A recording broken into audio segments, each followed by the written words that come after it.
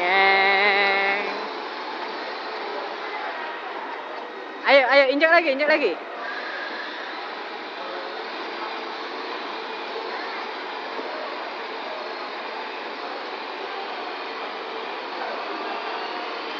Lihat ke depan dong matanya.